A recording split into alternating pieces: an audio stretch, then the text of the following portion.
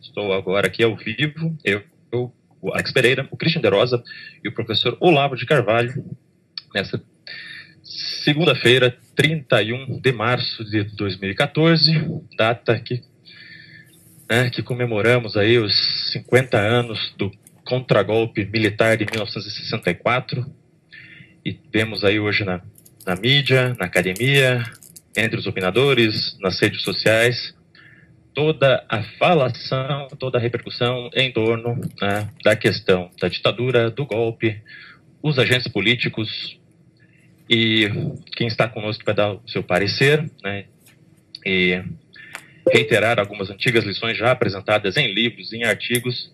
Né, está aqui conosco o professor Olavo de Carvalho. Muito boa noite, professor. Boa noite, Edson. Tudo bem? Tudo bem, graças a Deus. Pois é, hoje é o dia, né? É. Meio século do golpe e a versão que impera parece que não é né, aquela história, não é bem assim, né? Como o senhor tem visto a cobertura hoje e a trajetória né, de produção é, de conhecimento ou de desconhecimento histórico a respeito né, desse tema, professor? Bom, aí nós temos que dividir a coisa em dois aspectos. Primeiro, hum. o aspecto histórico, o estudo passado, Sim. segundo, o aspecto político, quer dizer, a luta como está hoje, hoje em dia. Uh, do ponto de vista histórico, a, a falsificação do, do, do, do, relato começou já praticamente no dia seguinte ao golpe, quando o escritório da KGB no Rio de Janeiro, chefiado então pelo Ladislau Bittman, inventou a história de que o golpe havia sido tramado em Washington. Logo, logo depois do golpe saiu o livro do Edmar Morel, O Golpe Começou em Washington. Né? Mas quem inventou a história, o primeiro, foi o escritório da KGB, que espalhou para todos os jornais, estações de rádio, estações de TV do Brasil, um documento forjado no qual um alto funcionário do Departamento de Estado cumprimentava um agente do FBI no Brasil pelo sucesso da operação. Operação subintende era o golpe. Por que um funcionário do FBI? Porque, confessa o Ladislau Bittman, na época o pessoal da KGB no Brasil não conhecia nem um único agente da CIA lotado no país. Então usaram um funcionário do FBI. Agora, você vê assim, é possível dizer, a, uma participação intensa americana no golpe sem um único agente da CIA. Aliás, eu muitas vezes lancei esse desafio a esse pessoal que defende a teoria de que o golpe começou em Washington né? e que inventa mil e uma coisas ainda para enfeitar essa história da KGB. É, muitas vezes desafiei os camaradas seguintes, ah, já que você sabe tanto, meu filho, então me diga o nome de um único agente da CIA lotado no Brasil na época. Não sai nome nenhum, eles não sabem nenhum. Então, como é possível é, uma grande potência tramar um golpe num outro país sem ter lá nenhum agente do seu serviço secreto no exterior? É absolutamente impossível. Então, toda essa história do golpe começou em Washington. Isso foi realmente inventado pela KGB. E esta história vem sendo obedecida, a instrução da KGB vem sendo obedecida desde 64. Quer dizer, estamos comemorando meio século de subserviência a uma mentira inventada pela KGB. Hã? Por que, que isso acontece? Eu vou lhe dizer. Outro dia apareceu né, no, no, YouTube uma gravação Sim. feita por um tradutor brasileiro que mora na Polônia, tradução de um documento importante da KGB, que é um convênio firmado entre a KGB e o Serviço Secreto da Tchecoslováquia, em 1960-61 para operações de larga escala na América Latina, especialmente no Brasil. E então ali você vê que esse convênio planeia, sobretudo, porque o pessoal, a gente fala de KGB, o pessoal pensa em espionagem, isso é bobagem.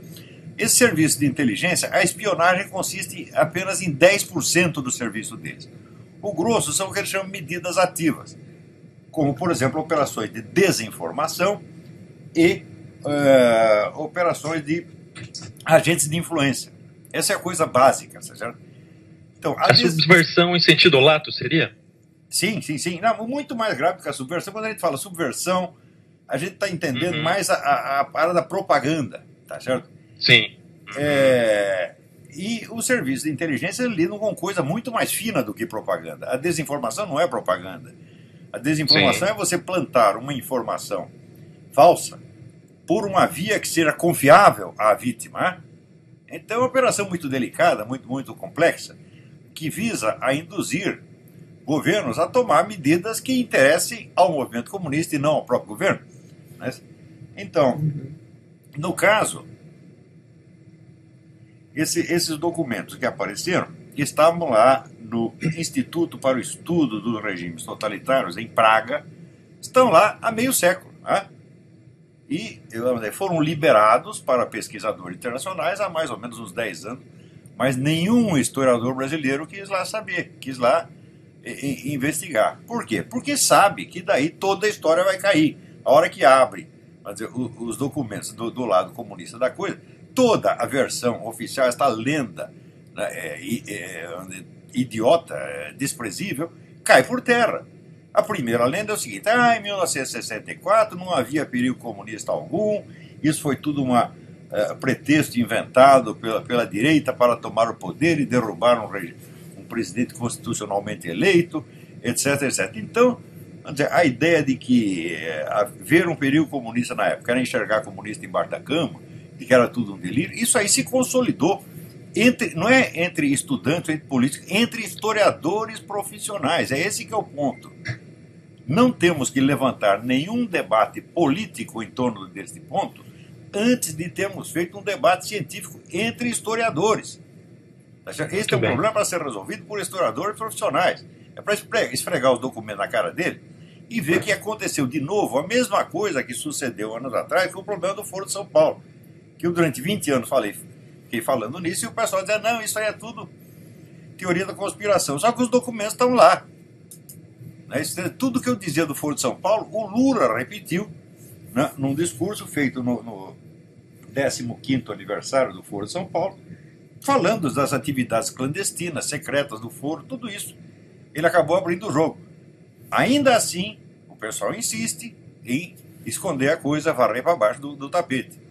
Mas aí, no caso, a disputa é mais entre jornalistas. Mas no caso que eu estou falando, que é o caso de 1964, não se tá, trata de jornalistas, sim de historiadores profissionais. Uma massa impressionante de historiadores universitários repetindo a historinha da carochinha inventada pela KGB, repetindo fielmente. Por que, que eles fazem isso? Porque muitos deles são agentes da KGB, os nomes deles estão lá nas listas da KGB. E são pessoas que ainda são importantes na universidade, na política e na mídia brasileira. O tradutor, que é o Mauro Abranches, ele pediu que eu não mencionasse nenhum nome, porque ele disse que das pessoas que constam daquela lista, nós não sabemos quais os que eram colaboradores, que eram agentes profissionais da KGB, quais os que eram colaboradores voluntários e quais os que eram pessoas que eram forçadas a colaborar por meio de chantagem e ameaça. Então, como não queremos culpar inocente, então não vou falar de nome por enquanto. Mas eu nas listas reconheci vários nomes que eu, há 20 anos, já tinha certeza que eram agentes de influência da KGB, mas não tinha prova. Agora está aí a prova. Tá? Então, é. esses nomes ainda vão aparecer. Tá e daí você vai entender por que, que essa historinha do golpe 64, e que foi influência americana, de que não havia perigo comunista algum, se impregnou de tal maneira na nossa história universitária que acabou virando um dogma de evangelho. Agora, quando você vê os documentos da KGB, você vê o seguinte: se não havia na época nenhum agente da CIA conhecido lotado no Brasil, agentes da KGB havia centenas, milhares na verdade, colocados nos mais altos postos, colocados no governo, colocados nas Forças Armadas, colocados nas empresas estatais, colocados na mídia, colocados nas instituições de pesquisa científica é, e colocados no próprio serviço secreto. Esses eram milhares. Então é a mesma coisa que dizer, a KGB estava praticamente ocupando o governo na época, meu Deus do céu. Então não era um governo democraticamente eleito, era o governo de um regime totalitário infiltrado tá certo? configurando aí o maior atentado que já se fez contra a soberania nacional em todos os tempos. Porque esses camaradas determinavam o curso da ação do governo e continuam determinando o curso da ação de milhares de agentes e de idiotas úteis nas universidades. Então a KGB realmente estuprou o Brasil na época. É? Agora, é curioso que, para não dizer que é o pessoal da esquerda que falsifica, o pessoal da direita também não teve nenhum, nenhum interesse de averiguar essas coisas. Isso apareceu por causa de um sujeito que é nem de esquerda nem de direita, é um simples tradutor brasileiro, que traduziu os documentos sem comentá-los. Ele não tem nenhum intuito político, ele simplesmente pega os documentos e traduz né, do tcheco para o português, e daí fica tudo claro e mostra os documentos. Agora, porque esse pessoal da direita, eu durante 20 anos, eu fui procurar líderes empresariais, políticos, líderes militares, implorando que fossem averiguar esses documentos que estavam sendo abertos nos arquivos de Moscou na época. Ninguém se interessou. Hã? Então, é. como é que nós vamos culpar a esquerda, meu Deus do céu? Quer dizer, se a própria vítima da falsificação consente com a falsificação e nada faz para eliminá-la, então os dois são culpados. Não é isso? Então, Sim. existe da parte da esquerda existe essa esta obscena obediência residual a uma operação de desinformação começada 50 anos atrás. Você veja assim, a, a subserviência, a falta de iniciativa intelectual desses historiadores. Né? Eu tenho uma filha que estudou História na USP. O curso de História na USP não é dos piores. Mas ela disse, olha pai, eu fiquei lá cinco anos, eu nunca vi nenhuma iniciativa intelectual, nenhuma curiosidade por nada, é só rotina. E a rotina, como já foi determinado pela KGB, o pessoal continua obedecendo. Então isso é claro que é uma vergonha nacional. Mas note bem, querer tirar consequências políticas disso antes de limpar a coisa no terreno científico e histórico é bobagem, é histeria. Nós temos que primeiro averiguar tudo e derrubar essa falsa historiografia. E desses historiadores que se comprometeram com isso, vamos ver quais deles estão nas listas da KGB e quais continuam trabalhando para a KGB. Porque, como diz o próprio Vladimir Putin, não existe isso de ex-KGB. É, Exatamente. Essa história, por exemplo, de dizer, ah, o Zé Dirceu foi, foi agente do Serviço Secreto Militar Cubano, eu digo, o quê? Ele saiu do Serviço Secreto Militar Cubano? É claro que ele nunca saiu desse serviço secreto, só se sai morto. Hã? Morto ou refugiado. Você pede asilo nos Estados Unidos, daí você sai. Agora, dizer que ele saiu, ele continua colaborando com o regime cubano como sempre colaborou. Ele está sentimentalmente muito mais ligado à Cuba do que ao Brasil. Ele, quando vê baixar, levantar a bandeira de Cuba, ele chora. Né? Ele nunca Sim. chorou de ver a bandeira do Brasil, você está entendendo? Então, é. esses comprometimentos com o serviço secreto estrangeiro são coisa gravíssima gravíssima. Não é coisa que você. Ah, agora mudou de ideia, não quero mais, não brinco mais. Não é assim. Então isso quer dizer que a historiografia brasileira sobre o golpe 64 é maciçamente, não digo propaganda comunista, não digo propaganda esquerdista, é operação de desinformação da KGB. É? Isso é bem diferente do que apenas ser comunista. Claro que tem muitos desses idiotas que nem sabem de KGB, simplesmente ouve a conversa de um outro comunista mais velho e repete. E é isso que se chama o idiota útil. O idiota útil, por definição, é idiota demais para saber que é útil e para saber a quem é útil. Não é isso? Então, é a velha, é a velha história do Willy Musenberg, que dizia que essas operações são como criação de coelhos. Você põe lá um casalzinho, ele se multiplica automaticamente. Então, é claro que, da maioria desses historiadores, eles nem sabem que estão trabalhando para a KGB.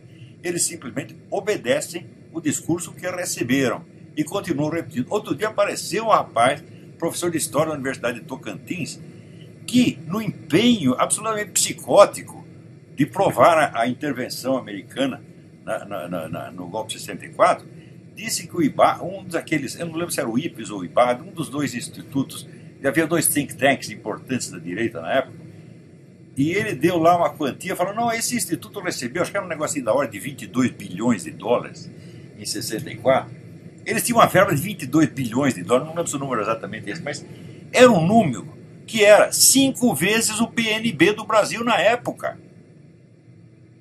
E como é possível uma coisa dessa, meu Deus do céu? Pois é. Dizer, o pessoal chega ao delírio completo, na ânsia, tá certo? De, de, de, de, insistir numa mentira.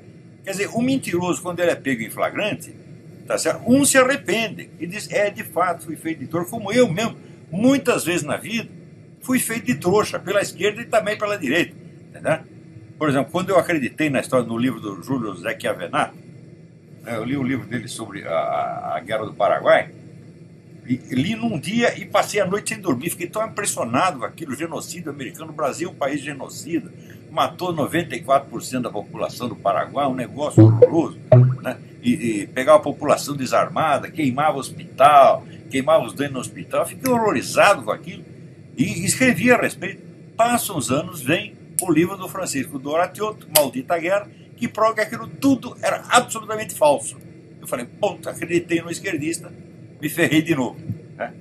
Então, um se arrepende, mas outros, ao contrário, eles ficam naquela insistência histérica que vai aumentando a coisa cada vez mais, até o ponto de dizer: ah, tinha uma verba de 22 bilhões de dólares. Meu Deus do céu! Pois é, agora, professor, hum. o, inclusive parece que tem uma ali no notícia do vermelho.org ali de que o Senado brasileiro vai pedir para o Departamento de Estado norte-americano uh, as informações sobre, o, sobre esse, esse apoio americano à, à ditadura, né? Sim, mas, mas não precisa pedir para o Departamento de Estado. Eu sei qual foi o apoio. Ué, eu sei, porque eu tenho é, testemunho é, direto.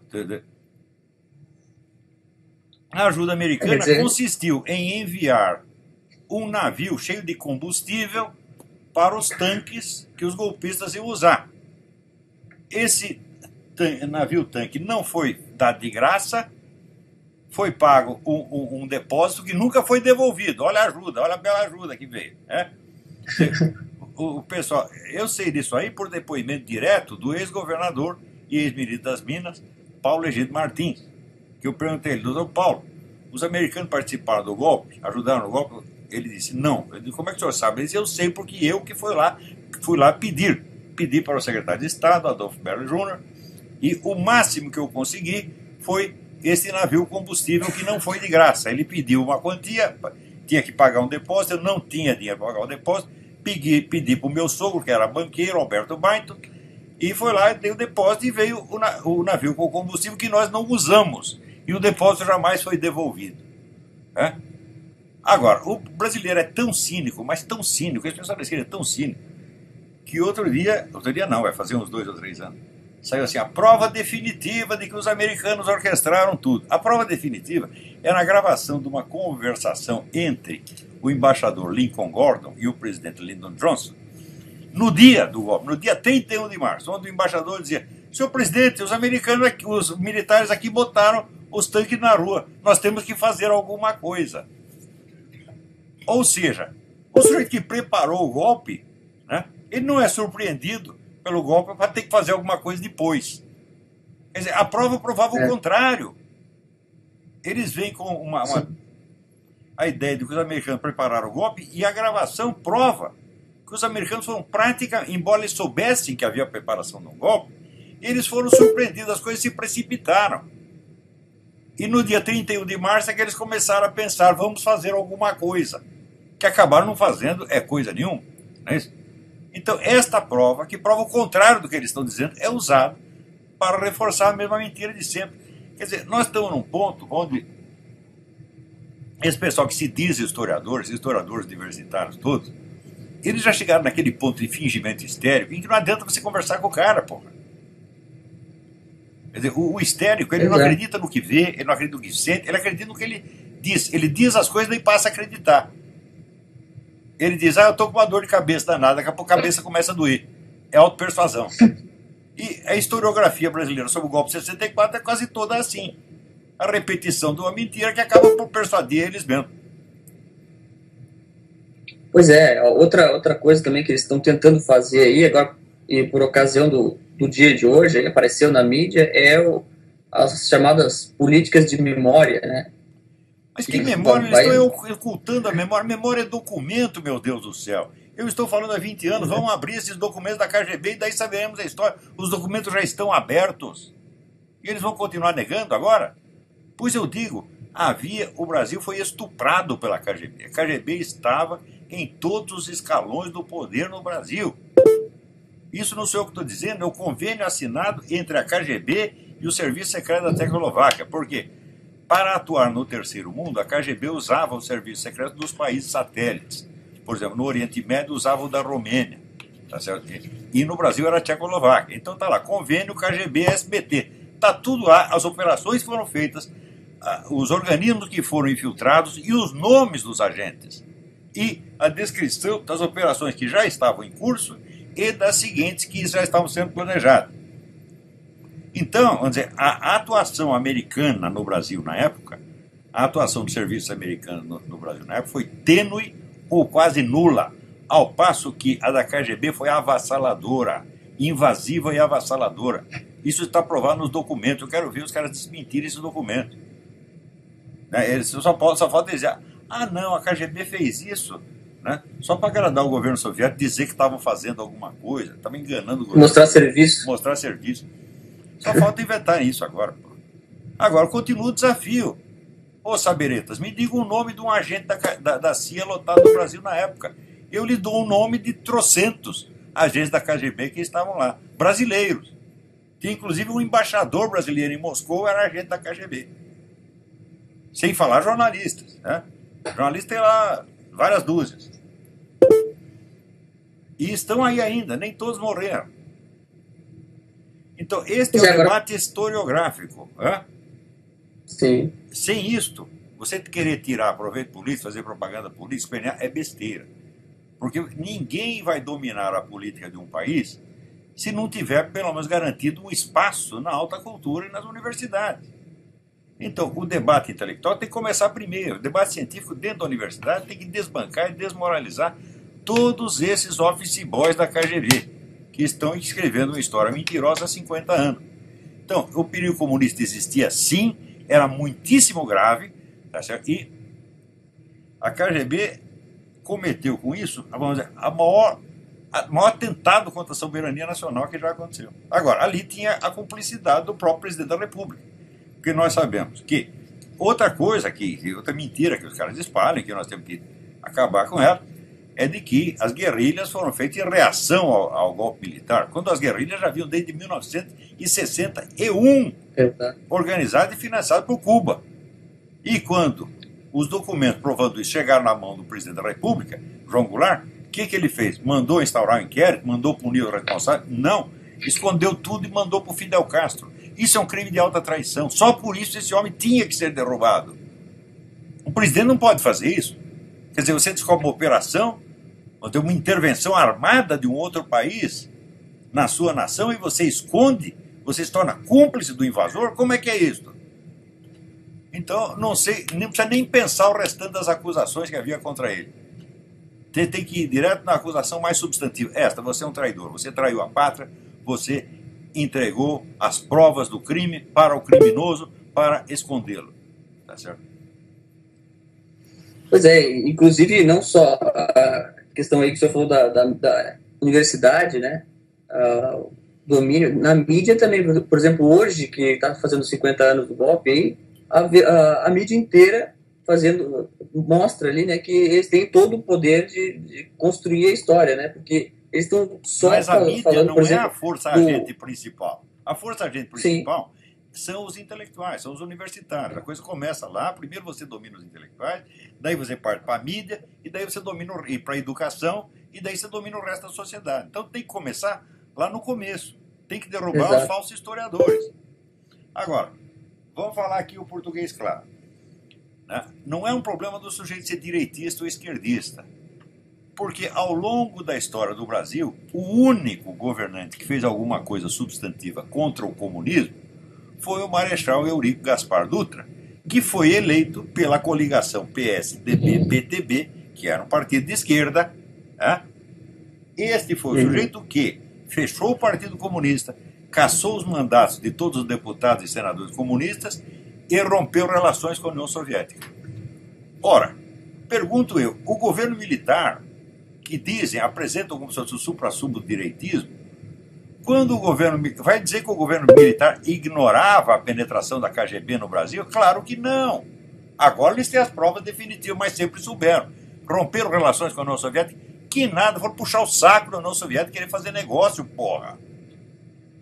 Tá entendendo? Então, Sim, é. então, o que se chama direita no Brasil, isso é uma corja de oportunista, de imbecis, você tá entendendo? E de, de ingênuos, às vezes. Então. É, o, a ingenuidade, às vezes, discursiva, né? Eu acredito em discursos que não. Que não é aquilo que, que o Eric chamava estupidez criminosa. Quer dizer, uma estupidez que o sujeito não tem o direito de ter. Não é isso? É isso aí. Então, você vê, o governo militar ficou lá. Né? Olha, até hoje é o seguinte: o golpe foi uma coisa justa. Derrubar o João Goulart era inteiramente justo.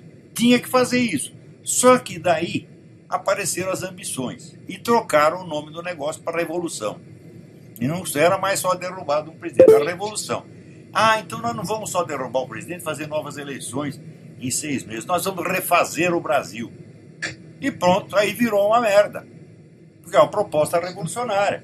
E ficaram no poder 20 anos quando tinham prometido realizar eleições em seis meses. Durante esses 20 anos que ficaram lá, eles destruíram toda a liderança, liberal e conservador do Brasil, cortaram a cabeça do Carlos Lacerda, cortaram a cabeça do Juscelino Kubitschek, tá cortaram a cabeça do Ademar de Barros, cortaram a cabeça do Magalhães Pinto, acabaram com a liderança civil, meu Deus do céu, e instalaram o poder de um grupo de militares iluminados e tecnocratas. E daí ficou uma ditadura que virou 20, durou 20 anos. Claro que na esfera econômica fizeram alguma coisa. Da onde vem isso? Existe no Exército Brasileiro uma tradição positivista, que já vem desde o século XIX. E a proposta positivista sempre foi o governo tecnocrático. O que é o governo tecnocrático? Você elimina a política. Augusto Comte dizia, os problemas políticos têm que ser resolvidos por meios científicos, não políticos. Então a neutralização da política tá é um valor que está impregnado na cabeça de muitos desses militares. Eles deixavam o Senado e o Congresso, a, Câmara de Deputados funcionando só para carimbar os decretos dele. Jantava lá meia dúzia de militar com meia dúzia de técnico, vinha lá soluções científicas e ponto. Manda para o Congresso carimbar. O Congresso dizia amém. Ali o debate parlamentar era o debate do amém com o sim senhor. Você está entendendo? Então, é. agora, o que, que fizeram contra o comunismo? Quer saber? Nada, nada. Fizeram contra as guerrilhas, contra a esquerda armada. A esquerda des a política era o seguinte: a gente reprime a esquerda armada e alisa a cabeça da esquerda desarmada. Tem lá o relato do, do Ricardo Vélez Rodrigues, que é um estudioso venezuelano que mora no, Brasil, venezuelano colombiano, agora não sei, agora me atrapalhei. E que é um grande conhecedor da história das ideias no Brasil e, sobretudo, da história da universidade no Brasil. E tem lá o relato dele, onde ele mostra que o governo foi boicotando todos os intelectuais de direita, todas as publicações de direito. Você vê, na época você tinha uma revista filosófica monumental, excelente, feita por conservadores católicos, que era a revista Convivium. Os militares retiraram a revista Convivium da lista de publicações que dão currículo universitário. Quer dizer que ensaios, artigos publicados no Convívio não constam como currículo até hoje. Tá certo? E ao mesmo tempo espalhavam dinheiro tá certo? Para as editoras comunistas. Isso aí me foi contado pelo Enio Silveira, que era dono da Civilização Brasileira, que era a maior editora comunista no Brasil. Ele dizia o seguinte: toda, ele me disse isso poucas semanas antes de morrer. As palavras dos moribundos, gente, têm um peso. Você está entendendo? Então, é, ele me disse, disse na minha frente, e uma outra testemunha que eu não vou citar o nome, é, mas se preciso eu cito. Sim. Ele disse: quando a situação apertava, eu ia lá no Golbery, ele soltava dinheiro e a minha editora só sobreviveu graças a isso. É? Então, era a ideia de que o governo militar não era anticomunista, ele era anti-guerrilha apenas. É? é como o governo Santos, na Colômbia. É? Nós não queremos guerrilha, não queremos violência. Então o que nós fazemos? Nós alisamos a esquerda pacífica, damos dinheiro para ela, damos cargos, deixamos ela ocupar as universidades. Foi a mesma coisa que os militares fizeram. Então, os militares são condenados tá por aqueles que deveriam ser gratos a eles. Quem tem que estar bravo com os militares são as pessoas que, em 1964, confiaram na promessa de eleições. É? Eu era muito jovem na época, e pior, eu estava contra, completamente contra o golpe. Estava no meio dos comunistas, etc, etc. Mas eu vi o entusiasmo das pessoas que apostaram no golpe, que não foi um movimento militar. Os líderes, nenhum dos líderes era militar. Os líderes eram o Carlos Lacerda, era, era o Magalhães Pinto, é, era o, o Abreu Sodré, era tudo civil. Milton Campos, era essa gente. Né? O que aconteceu foi que eles contactaram alguns generais e chegou na hora um general deu um acesso de impaciência, que foi o Mourão Filho, e ele disse: então eu vou meter os tanques na rua e meteu. É? Mas como Sim. é que você vai chamar de movimento militar onde é um movimento que realizou passeatas de um milhão de pessoas? Será que era um milhão de soldados? Era um movimento eminentemente civil. E a ideia era tirar o João Goulart e fazer eleições em seis meses ninguém tinha a menor dúvida de que em seis meses só tinha duas pessoas que podiam se eleger, que era o Carlos Lacerda e o Juscelino Kubitschek. Os dois foram tiveram suas cabeças cortadas pelos iluminados tecnocratas do governo militar. Então, note bem, sujeito eh, equacionar as coisas em termos políticos de hoje tá certo? e celebrar o movimento militar tá certo? é também cometer uma injustiça eu posso celebrar a derrubada do João Goulart. Sim, hoje eu entendo que foi uma coisa inteiramente justa. Mas não posso celebrar nada do que foi feito depois. Nada. Porque você veja, a decisão. Se você perguntar assim, durante os 21 anos que ficaram no poder, quantas vezes os militares promoveram campanhas de propaganda anticomunista, não antiguerrilha? Nenhuma vez. É? Quando foi para introduzir a, a, a, disciplina de educação moral e cívica nas escolas, quem eles chamaram para redigir o texto básico? O padre Bastos Dávila, que era um homem da esquerda. É? Ou seja, propaganda anticomunista não houve nenhuma durante 20 anos. Não fizeram filme, não fizeram programa de TV, não ensinaram nada nas escolas, tá certo? E abriram espaço para que a esquerda dominasse o aparato editorial, ao ponto de que, conforme mostram os registros da Câmara Brasileira do Livro, o período do governo militar foi o período de maior progresso da indústria, da indústria editorial comunista no Brasil, ao longo de toda a nossa história.